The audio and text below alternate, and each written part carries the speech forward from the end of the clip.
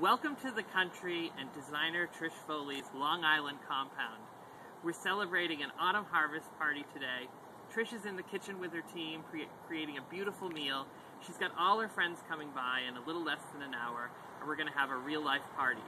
So enjoy the sneak peek. This will be in the pages of Autumn with Matthew Mead, and we really can't wait to share it with you.